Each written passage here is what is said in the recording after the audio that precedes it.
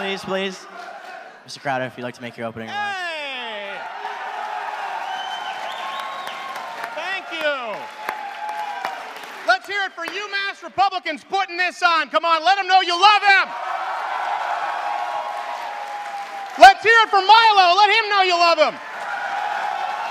Let's hear it for Miss Sommers. Let her know you love her. Time to listen up, you silly liberal fruitcakes.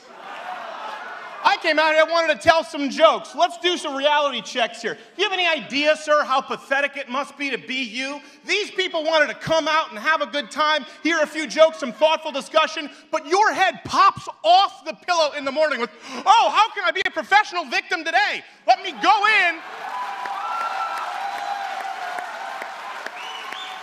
and screw with their act just because, oh my God, your parents didn't tell you that your opinion wasn't worth that much.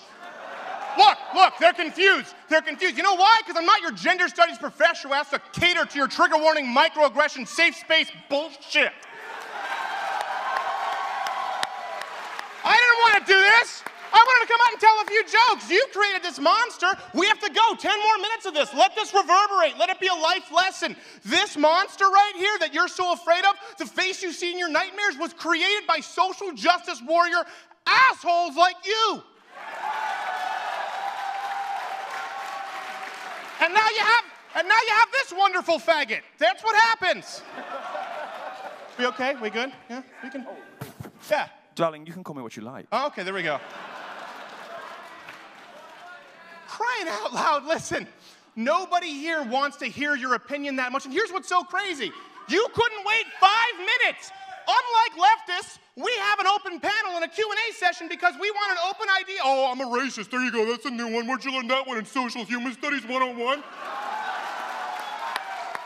right next to the right next to the giant, I don't know, wild boar I couldn't see who said there's no such thing as fat chicks. Uh, guess what? If you think there aren't, you are one, okay? Did he just make a fat joke? Yeah, I did. And no, it's okay, because I got some here, so screw you. I have a faggot pass and a fat pass today. we wanted to come out here and tell a few jokes. We wanted to have a thoughtful discussion. We want an open conversation of ideas. You guys can't be grown adults enough to literally wait 10 minutes to the point where we open the floor. And unlike leftists, guess what? We don't try and ban you when your speakers come to school. We don't show up and protest and call them, oh, shut up, you just got owned and now you're trying to come back five minutes later. It's like George.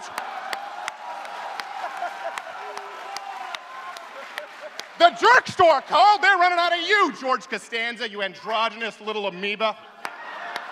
And by the way, these opinions you're yelling out, even your opinions. They're your opinions from your gender studies professor, and the really reason you picked it was because you thought it was your best chance at getting laid. You just decided to walk on in to try and pick up chicks at the San Francisco retread pot smoking drum circle, only to realize that your very glance in the direction of a woman causes a barren womb.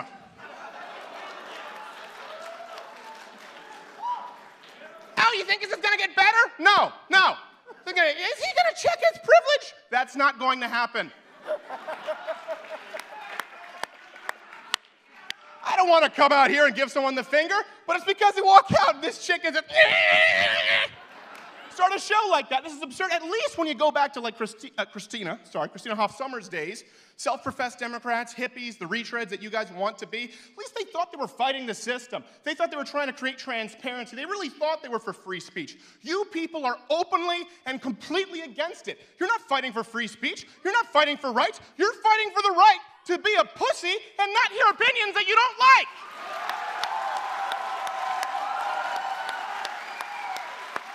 I'm done. Oh, oh. If you, if you only take if you only take one piece of advice from this, okay? Please, sincerely, don't be an asshole your whole life. All right.